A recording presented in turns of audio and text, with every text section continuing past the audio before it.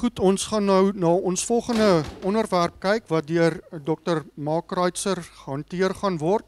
Die titel daarvan is Biblical Eschatology of Cultural Hope. Ek dink dat hierdie onderwerp is geweldig belangrik omdat dit vir ons as Christene um kan help om meer produktief te kan arbei.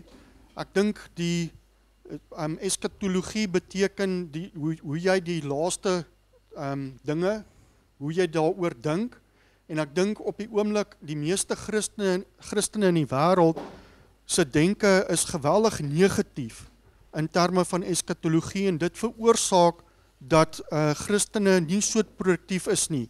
Ek kan byvoorbeeld ek kan 'n voorbeeld noem jare gelede toe ek die tweede Bybelse wêreldbeskouing seminar georganiseer het. Nou julle kan dink so 'n seminar dit daar's nogal baie moeite wat 'n mens moet insit. As jy nie 6 maande voor die tyd begin organiseer nie, dan moet jy dit maar eerder los. En ek het daai seminar begin organiseer en ek gaan kuier toe by iemand en ehm um, hy's 'n hy hy's 'n baie toegewyde Christen wat dinge doen. Hy hy neem deel aan opmarse teen abortus en allerlei dinge. En um, hy vra vir my, "Wat doen ek?" Ek sê, "Nee, ek is besig om 'n Bybelse wêreldbeskouing seminar te reël." Hy vra wanneer? Ek sê nee, eers oor 5 maande. Hy kyk my so, hy sê, "Weet jy, jy mors jou tyd." Ek is toe 'n bietjie verbaas. Hy sê vir my, "Want oor 5 maande het Jesus al lankal gekom." nou dit is 20 jaar later en dit was toe nie die einde nie. So die probleem is daai denke veroorsaak dat jy nie langtermyn beplan nie. Jy doen nie langtermyn beleggings nie jy gaan nie Grieks en Hebreëus leer om om beter te kan werk nie.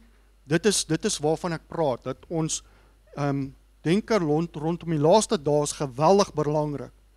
Baie dankie maak dat jy bereid is om met ons hieroor te praat. Baie dankie. Is dit werk dit nou? Kan jy dit hoor? OK, goed.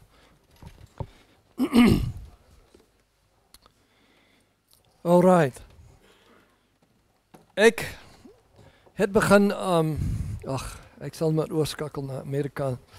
Um I began thinking about eschatology after reading a book in the 1970s called The Late Great Planet Earth.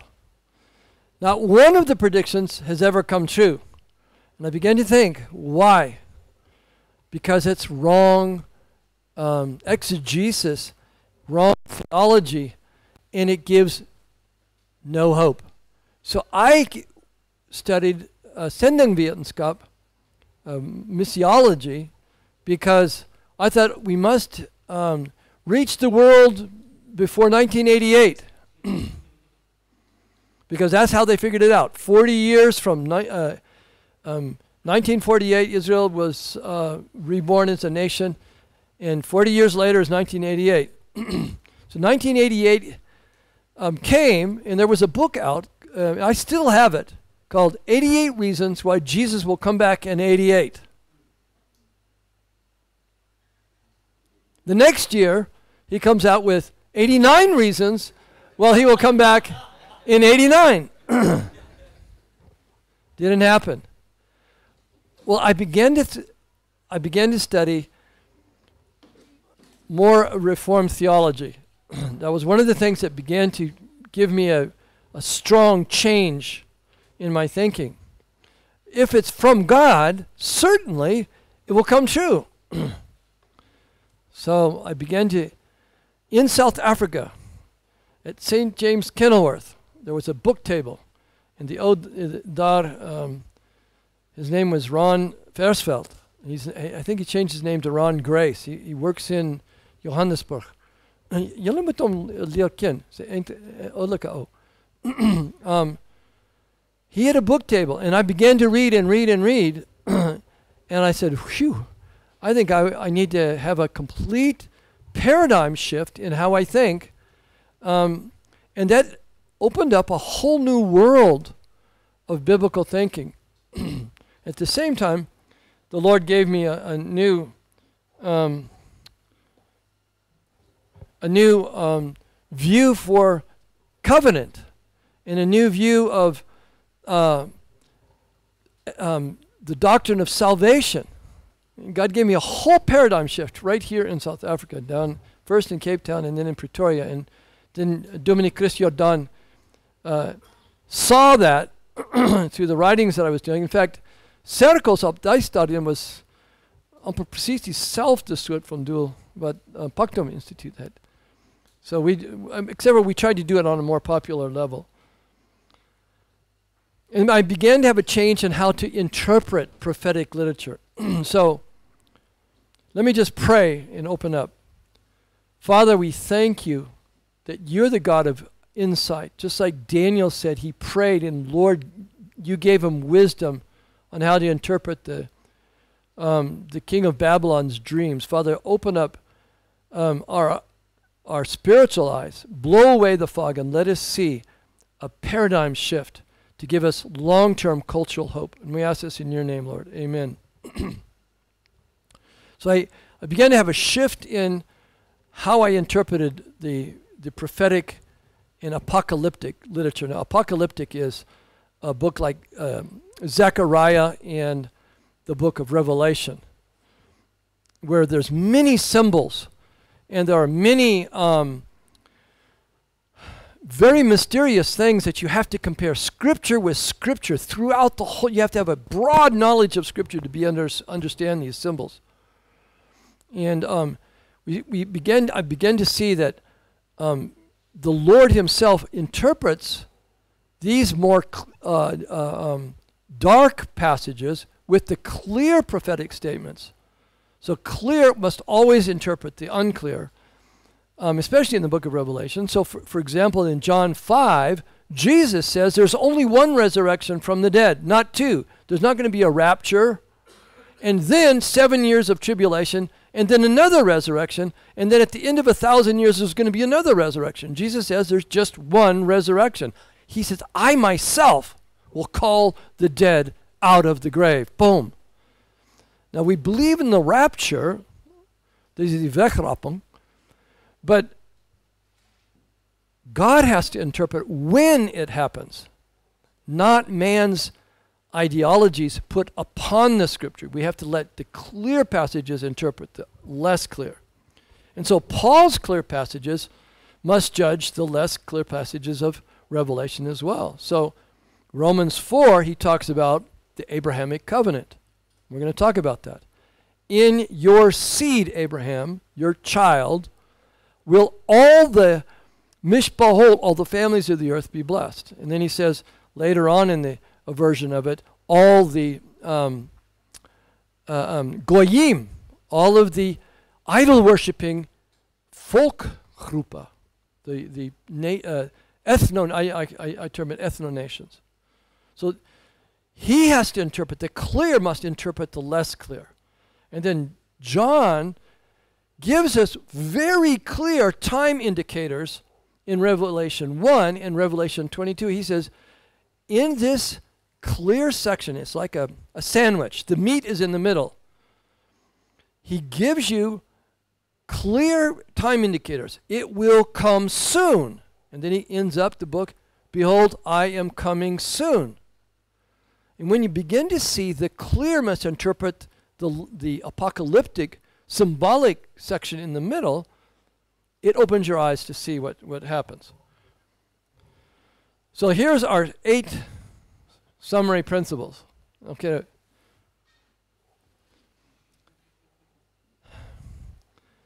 Our Lord is king over all. I think that's one of the basic messages, starting with Genesis 1. Our Lord sits on the throne and speaks and it comes to pass. Now, John interprets that. Who is the one who speaks? God, the Father. Who is the Word? Jesus. And the power of the uh, Spirit is, is, uh, um, uh, is energizing the Word through the Father. So this, it's a, it's a uh, Trinitarian beginning. And he sits as king over all, and he's in control of all because he's the owner of all. And that must set our, um, our eschatology, our view of the last days. So then, after the fall, Satan becomes the God of this age. Yet, who still rules? God through Christ by the Spirit. Now, Satan is not more powerful than God. You know, so many times that people say, "Ach, is net die duiwelse wêreld." Lost it. You know, it's it's just the devil's world. No, it the earth is the Lord and the fullness thereof. Psalm 1. I mean Psalm 24 verse 1. And Paul repeats that in um, 1 Corinthians chapter 10. So, third, this line from creation fall began immediately after the fall with the prediction of a coming uh, victor who will crush the head of Satan. And so the, the promise that there's going to become a victor who later is revealed more and more that he's going to be a king and yet at the same time human and God. Isaiah chapter 9, verse 6. He says, A son will be given to us, a child will, will come, and his name will be. Does anybody know the, the, the names that he gives? Yeah, uh, eternal um, king, um, everlasting father, which in the in that culture meant that he would be the father of his people, and um, uh, um, prince of peace, wonderful counselor. All of those are divine names. All God Almachtig, God Almighty, the uh, Almighty God. He's both God and man. And as we see, this promised kingdom finally comes in the person of Jesus of Nazareth. But it's not yet perfect. But one aspect that's missing, it gives us hope, is that his kingdom reign is growing mightily upon the earth and will, and I'm going to show this, hopefully if we have time, disciple every volkgroepe, volkera, uh, elke volkgroep upon the earth. He will disciple. He gives us the the, the Great Commission, the Groot Opdracht. And here's what he says Go, literally, go, disciple all the peoples. He doesn't say make disciples van die volkeren or uh, make disciples of the peoples. He says disciple every people group. Panta ta ethne in Greeks, in kolal uh, mishpaot in, in Hebrew.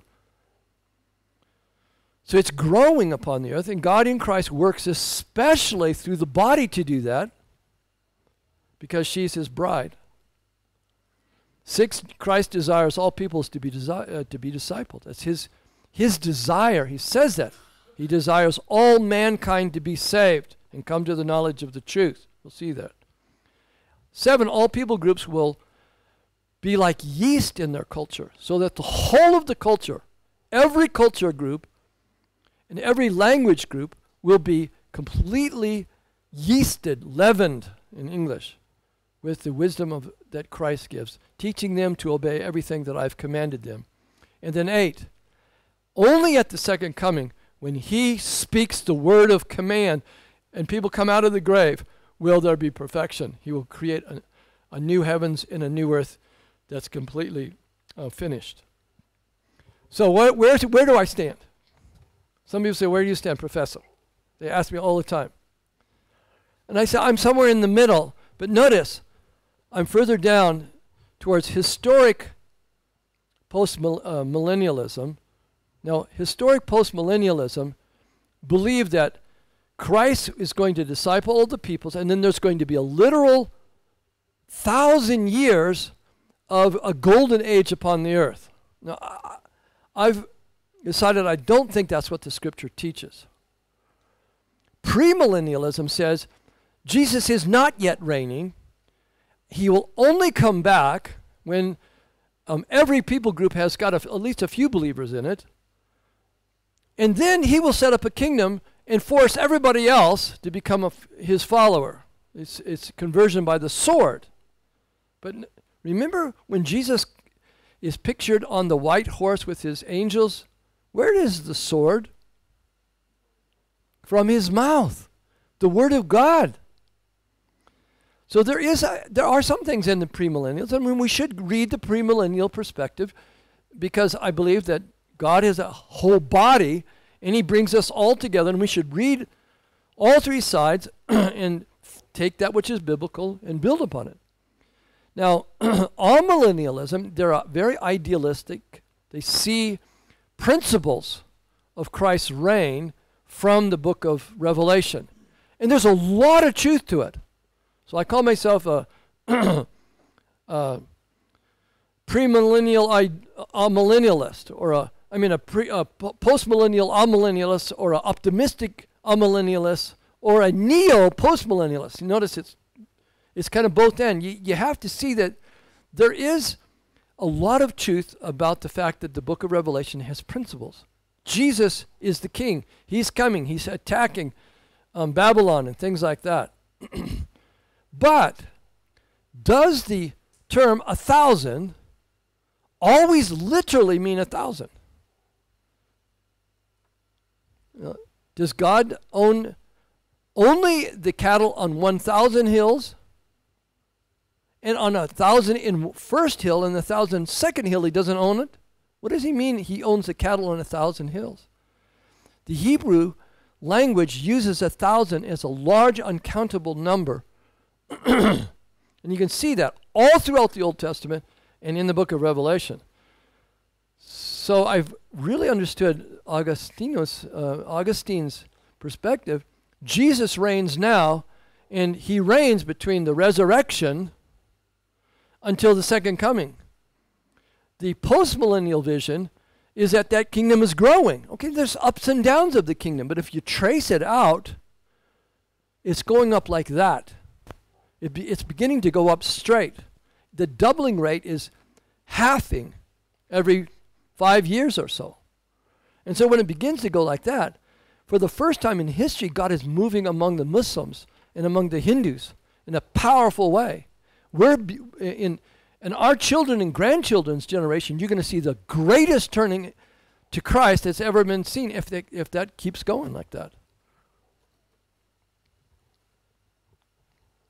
So now there are key passages that we must understand. First, it's, it, we, we need to begin with the creation and um, the Tower of Babel. Don't have time to explain the whole thing. This is like a whole semester's lecture in one 45 minute time. But God created the heavens and the earth, and then He created humanity, male and female, and He created them as a family. It's the basic building block of culture. but they rebelled against God, and so God brought death. And so you see death enter the world and with and sin reigned in death, Paul says in Romans 5. And he destroyed them, except for one family again. Notice family is the, is the key idea, the household theme, the family theme. And from there, the very uh, next chapter after the, the, the, uh, the next after the, um, the flood and the destruction and the rebuilding of the human race and the rebuilding of a new of a, in a in a symbolic form, a new heavens and a new earth. Humanity rebelled again. so what does God do? He fast forwards the already inbuilt creational process and gave each clan, each family group, a language. So it wasn't, you know, Slabat kry uh, uh, a taal En tiene kry 'n ander taal en hulle gaan in andere rigtinge. Nee, die, elke familie kry 'n taal. so there wasn't enough people to build the tower, so what happened? They were scattered. Well, wasn't that what God's command was in the beginning? Be fruitful, multiply, scatter, and fill the earth. In fact, they said, We don't want to scatter, lest we be scattered over the whole earth. So he scatters them with different languages. Now, what does the next chapter say? God called Abraham's family. And um, you can see the Abrahamic covenant throughout the, the scripture, so we'll see that more. Then in the Psalms, he picks up on this Abrahamic covenant over and over again. And he, he gives predictions that the whole earth and all of its families and all of its clans and all of its peoples will turn to the Lord. The prophets pick that up. The Gospels repeat it. Paul's letters show it. And the Revelation shows it. So those are your key passages. Once you get these six key passages and use those principles, the clear must interpret the less clear. you can build a sound biblical theology of the last days. Now, by the way, when did the last days start?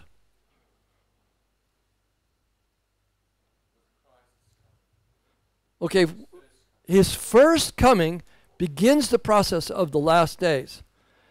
Peter specifically says on the day of Pentecost, this shall be fulfilled. Um, this, what you see in here, is the fulfillment in the last days of God's prediction in Joel. And then Hebrews 1, verse 1, he says, In the last days, God has given us his final revelation in the Word, which, he's, which he uh, sent in the person of Jesus. So the last days clearly begins with Pentecost, and many theologians say with actually with the incarnation of Jesus. That's the beginning of the last days. And as I saw last time, after the fall of Adam, all of life was destined to fail. Why? Because God wanted to show there's only one good man who is also God. All of history comes down to failure, but Jesus is the only one who is the Savior, the victor. But from there, the Spirit is outpoured. He gives us the, uh, the Great Commission, the Groot Opdracht, and He sends us out in the power of the Spirit. And you can see how God is beginning to reach all the peoples until the end. So it's an hourglass view of history. So notice that the expression then a thousand, you can see it in Psalm 50:10 where it talks about the cattle on a thousand hills, Isaiah 30:17 and Revelation 20. All of these have th- the word a thousand, but it's used symbolically, except for when the context ex- is extremely clear, like 1,000 troops went out and marched against the Philistines. Now that doesn't mean an uncountable large number. I think in that context, but many contexts he uses it in a symbolic way. So let's just look at number one. Um, the Lord is covenant king over the whole universe. So his commission is to exercise dominion. That's called the cultural mandate. Now, what was the cultural mandate? Be fruitful, multiply. Jullie, uh, jullie doen dit goed. maar reign over the earth not as kings. We're not created to be kings. What are we created to be? Well, governors. There's a groot verskil tussen 'n koning en 'n gouverneur. The king makes the rules. He judges, and um, he makes. Uh, he's the lawmaker, judge, and king. The executive, legislative, and the um, what is it in America? The legislative, executive, and judicial. He's all three in himself. That's why the American fathers divided the government into three branches, because man cannot do any of those by himself. Only King Jesus gives the wisdom for each branch. Only Jesus is all three. We're not created to be kings, judges, and, and um, um, executors.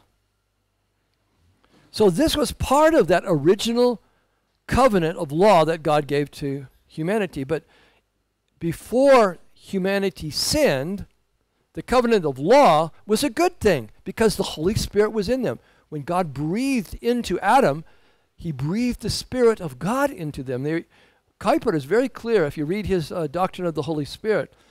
And I, I'm become very convinced of what uh, Kuyper's argument that humanity was created with the Holy Spirit, shining out the glory of God. What happened when Eve gave Adam that apple or whatever the fruit was? The glory left and the Holy Spirit left. That's why it says devoid that people without Christ are without the Holy Spirit. Only Jesus can come back and give the Holy Spirit. He did it symbolically in the upper room. What does he do? He enters into the room. Peace be uh, uh, to you. Then he breathed on them, and what did he say? Receive the Holy Spirit. He was showing that he was the one who breathed the Spirit into the mouth of Adam. I think that it was symbolic. He's the creator who breathed the, the Spirit. He says, You are now the new man, the new, well, men and women collective, the new man. He symbolically ble- breathes the Holy Spirit upon them. And he says, Now wait for 10, uh, for 40 days until the day of Pentecost. He was with them. And then he says, Wait, when the Holy Spirit comes, then you will receive power to what? Deci- to go out and bear witness and disciple the nations. So that was good. the legal covenant was good. They failed. Now here's the difference between then and now.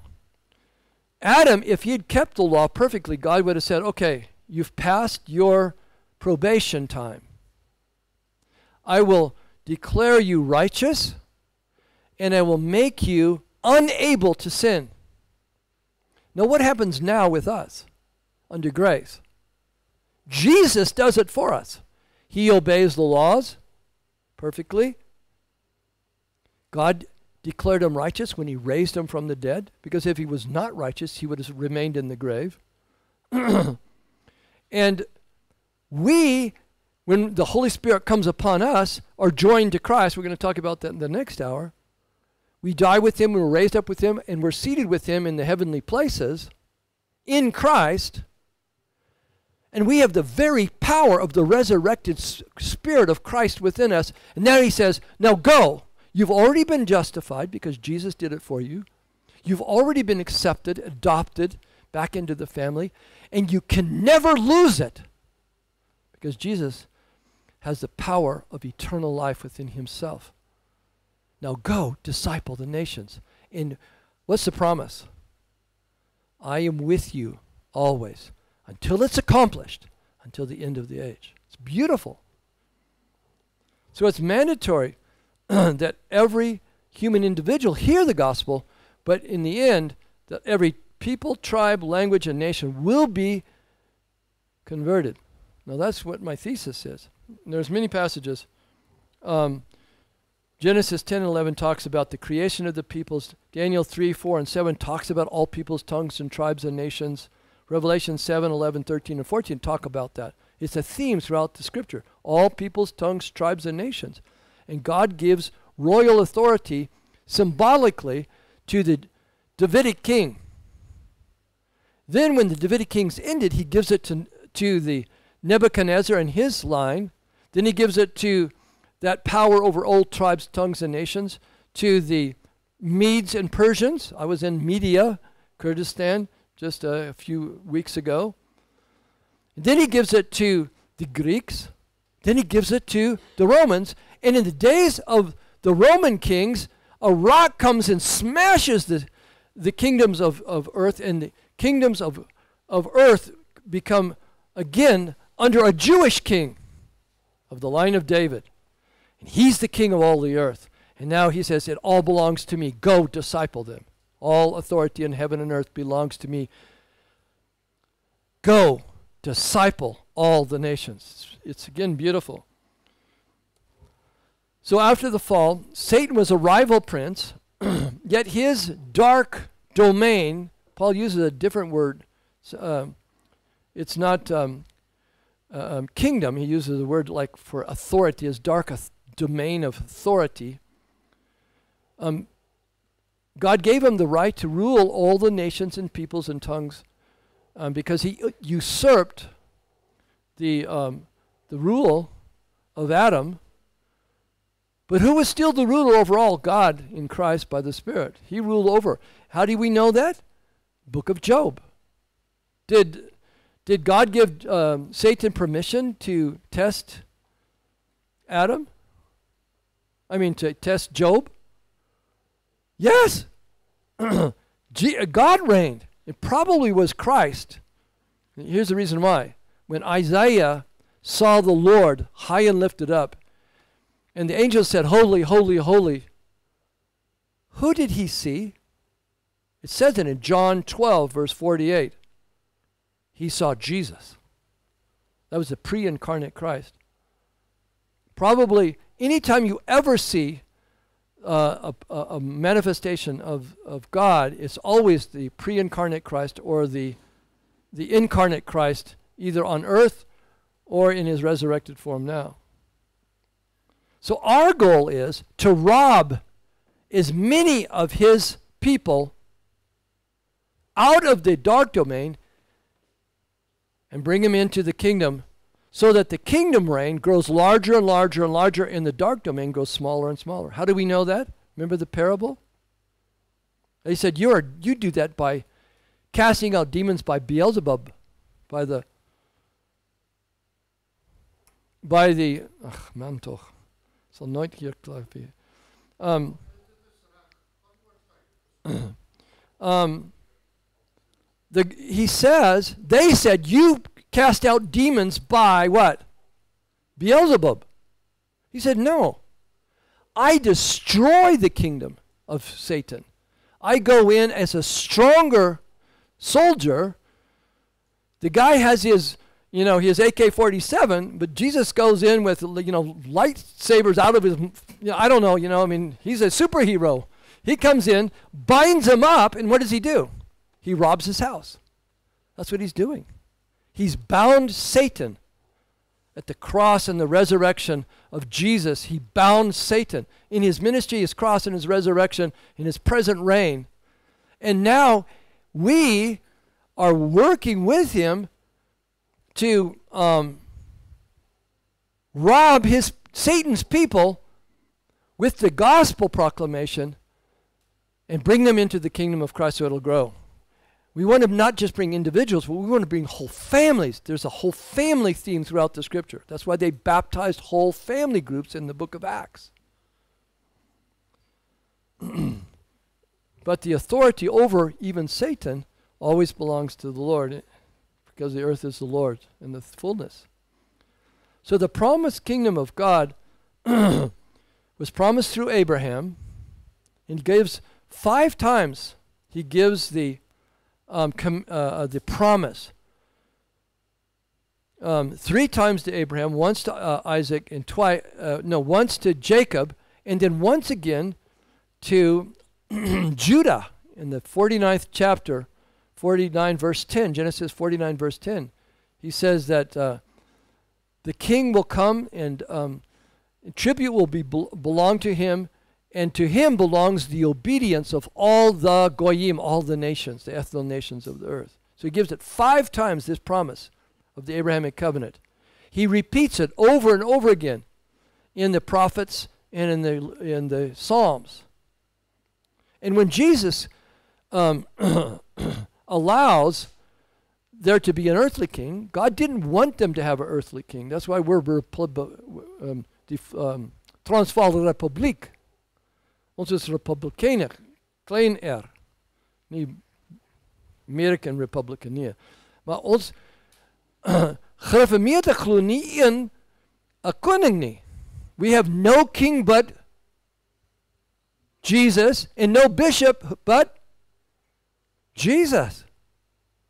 says it in the in the in the New Testament. He is the, the bishop and the apostle of our souls.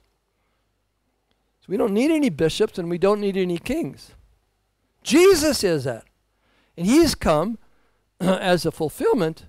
God al- allowed it to be a, a temporary picture of that kingship to be given to David in his line. But it was always promise, promise, promise. But when Jesus comes, he says, If I cast out demons with the finger of God, and the only other time the, the word finger of God is used is when God wrote the Ten Commandments with his finger. If I cast out demons with the finger of God, what has come? The kingdom of God has already come upon you. John the Baptist announced it, and there's a uh, there's a deliberate ambiguity in the Greek. Egus could mean um, it has come near, or in some contexts, it has already come. John the Baptist says the kingdom is very near. Repent. What does Jesus say? The exact same terms. The kingdom has come already.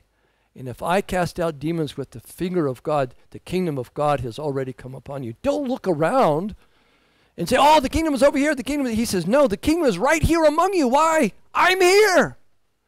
But you don't recognize me. Of course, it's not going to come perfectly until the second coming, but it must grow upon the earth. So, how does God work? He works through both his visible body, that's the, the sichtbare uh, gemeentes, but especially in the invisible body, as we go and be salt and light. And, and I think it was um, Adi that talked about the invisible uh, or the salt and light. Who was it? I can't remember. Was it Slavi? One of the lectures talked about salt and light. We're to be salt and light. How? Well, we're to preserve that which is good, and then we're through saltness, and we're to be light. What is light? Well, if I turn off all of these lights, what's going to happen? Totally black. And when the light comes into the room, what happens to the darkness? It's gone. That's what we're supposed to do. Go into the darkness of the surrounding townships. And the Afrikaner was one of the ones. And there's I was talking with Hendrik Verwoerd. He's say pa was 'n sendeling. Sê net okay, I don't want to go there, but I mean, okay, they said the Afrikaner has no mission vision. That's not true. The, the, one of the greatest turnings to Christ in Nigeria was a klomp boere sendelinge in, in Nigeria under the Tiv people. And as it got more and more politically incorrect for Afrikaners to be, they turned it over to the to the um, Christian Reformed Church in in America to to to help that movement. But the Afrikaners have been a missionary people. The vision was that we won't just be a light here in Hiriland, but to, to be a light to the nations. and so we're to pray and to work for the growth of the kingdom. That's what uh, salt and light is. That's how God works. So his kingdom is growing upon the earth and will disciple. Now, how do we know this? Well, let's look at some of the parables. He says the kingdom of God is like a mustard seed. Does the mustard seed say, stay tiny? The smallest of all the, the garden seeds. Does it say tiny? No, it grows into a huge bush. A huge, they say it grows up sometimes up to, to 12, 3 meters hoog. Tiny little seed grows up and the birds come. Well, that's a picture from the book of Daniel of the growth of the kingdom. And all the birds are like the Gentile nations, all of the, the uh, Goyim, come and nest in it. That's a picture of the kingdom. As God's kingdom grows, He brings all of the birds into the kingdom. That's the nations surrounding. What, is, what happens when the woman comes and takes a tiny little bit of yeast, puts it into the dough? What happens to the dough? So all this, no. Uh, what is the word in Afrikaans for to leaven? To, reich? Rice. It rises, yeah. The, the, the, the whole bread rises and it goes through the whole of the kingdom. We're to not only um, let the, all of the nations come into the kingdom, but we're to, to spread the gospel commission. He says, teaching them to obey all that I've commanded to the ends of the earth. So, into visible manifestations in every area of life, so that the kingdom of God is justice, true he says the kingdom of God is also, uh, the kingdom of God is need, not eating or drinking, but righteousness, joy, and peace in the Spirit. Righteousness is. We, we need to teach all of what it means to be right with God, but also how to live out that righteousness into all areas of life. Romans 14, verse 17. Now, Christ clearly says he desires all peoples of mankind to to be saved. Well, let's look at this one. We'll read this one. Ugh. 1 Timothy 2, 1 to 8. As jy 'n Bybel of masjien het, jy kan dit bietjie eksegese doen. If you are a Western individualist, you look at this as all individuals. But if you're a Jew, the Jew saw the world as us, the um, das Volk Gottes, of, uh, um, auf Deutsch. We are the people of God, and all the surrounding idol worshiping peoples are the nations, the Goyim. So it's always our people and all the other people surrounding them. That's called um, in in um, Greek cosmos, the world. The world is not just earth, physical thing. He's talking about the human world. The human world is all of the tongues, tribes, and nations. We'll see this in this context. First Timothy, um, chapter two, verse 1 to 8. So let me read this and I'll do a little exegesis. I urge then, first of all, that requests, prayers, intercessions, and thanksgivings be made for everyone. See the individualism there. It says, for all mankind. It should be translated, all mankind. Well, how do we know? Well, you'll see it from the context. Not every single individual. You can't pray for every individual, but you can pray for people groups. And as the body of Christ begins to pray, God m- moves. Now, why? Well, there's a mystery. He says, You have not because you ask not. Can we m- change God's decree? No. But God puts it upon his people's heart to pray in the Spirit, and then God answers the prayers that he puts upon our hearts to pray. Kind of a, a secret mystery. But if you don't ever ask God, he's not going to give it to you. So I said, Pray for them. Pray for the kings. Wie is die koning van Suid-Afrika nou? Wat is naam? Ma M- Ramaphosa? Uh, okay, is nie uh, ja, ek vergeet al die verskillende ons. Maar okay, Cyril Ramaphosa. Pray for him that he would repent and be saved and rule with justice. Or if he doesn't, what does Psalm 2 say? He will be destroyed in his way. It's uh, uh, the people of God pray for his salvation, but if not, that he will be destroyed in his way. Psalm 2, it says it. Therefore, you kings, be wise. Be warned, you rulers of the earth. Serve the Lord with fear. Rejoice with trembling. Kiss the Son, lest he be angry, and you, kings and rulers, be destroyed in your way. But how blessed are those who take refuge in him. Kings and princes need to turn, and we need to proclaim the gospel. Uh, God may call some of you. Peter Hammond went into Nelson Mandela's office and said he must turn and repent.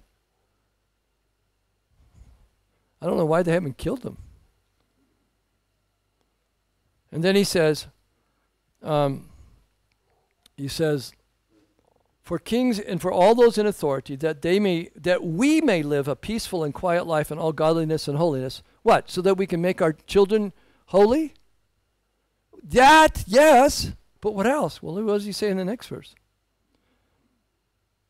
This is good and pleases God our Savior, who desires all mankind. It says that again it's the same construction, to be saved, all mankind to be saved, and to come to the knowledge of the truth. For there is one God and one mediator between God and mankind. The man, King Jesus, Christ Jesus, who gave himself as a ransom for all mankind. That's the same reference all the way through all mankind, all mankind, all mankind. The testimony given at the proper time, and for this purpose I was appointed as a preacher and an apostle. I'm telling you the truth and I'm not lying. A teacher of the true faith to the goyim, ta ethne. Remember, he doesn't see it as individuals, society as individuals. Yes, he sees individuals, he preaches the gospel to individuals, but it's Jewish people versus all the other peoples of the earth. And he says, I'm a teacher of the true faith to all the Gentile peoples.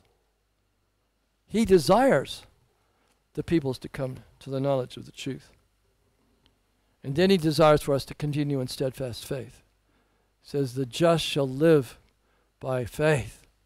Not only live to become renewed and born again, but then to live by faith. So the kingdom of God in His Christ has already come. It's now growing upon the earth. We've talked about Matthew 13, that's the leaven and the mustard seed. But Mark 4 says, when the seed comes into the ground, what does the farmer do? He plants it and he waits in faith. no, he pulls up the weeds uh, and he, he keeps it watered if there's, you know, a little bit of too, too little rain. But he waits in faith and God will bring the crop. Now, we proclaim and we trust God to bring the crop. And how do we know that? Well, until the totality of people groups are discipled and the totality of their culture is leavened with the yeast, realizing that it will not yet perfectly come until the second coming. This is what the theologians call the already but not yet. But they oftentimes meet, forget the middle part. Already growing, but are not yet perfect until the end. Now, the growth isn't a straight line. If you look at the growth of the Christian community, it's like this. We're about right there now. Takes 2,000 years. It's, it's a, not, a ge- is it geometric or uh, exponential growth. So the not yet perfection and completion only comes at the end. Jesus must continue to reign. He says it 1 Corinthians 15, 20 to 28. This is we'll have to close because I'm way, way over. 1 Corinthians 15, 54 to, no, 1 Corinthians 15, 20 to 28. This is one of the most misunderstood and most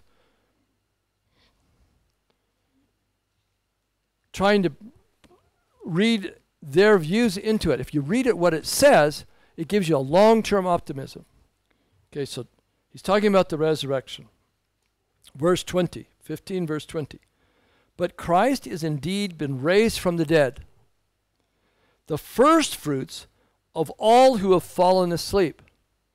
So remember, all of life came down to one good man, and he brought the power of the resurrection. Now, did Jesus raise people from the dead? Did Elisha? I think they threw a man into his grave and they came out, and uh, Elijah raised somebody. But did they die? Did, did Lazarus die? Yeah, we, we seem to be, yes, they died. Who will never die? Jesus. Who will never die who put their trust in him? John chapter 11. We. Even though we die, we'll never die, Jesus says. He's, enigmatic. And if you die, you will be raised again and you will never fail to live. Yeah. No, he says, For since death came through one man, the resurrection of the dead also comes through one man. First Adam, second Adam. For as in Adam all die, so also in Christ all will be made alive. If you're in Christ, that whole body will be raised up again on the last day.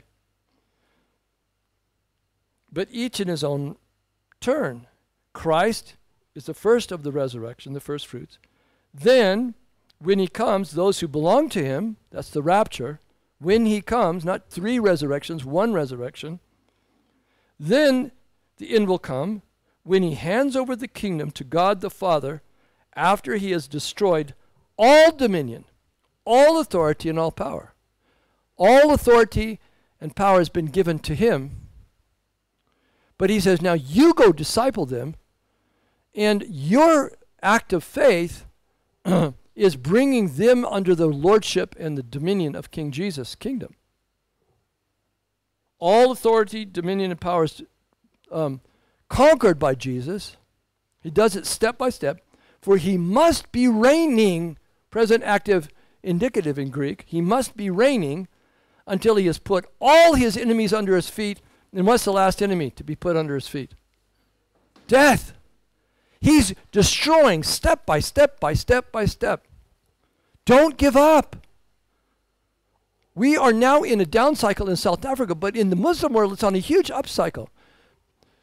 Let it collapse. It's going to collapse around us. America is going to collapse. But we're the remnant. But we're not just the remnant, oh, we're the frozen chosen, some people say in America. No, we're the, the power filled light of the gospel. And then what's going to happen? The resurrection. He will succeed. Don't give up. It changes your whole perspective. You can be an optimistic amillennialist or a neo postmillennialist, and there's some things of the uh, premillennialists you can stand for. But in what the scripture teaches is long term, realistic optimism. Let's pray.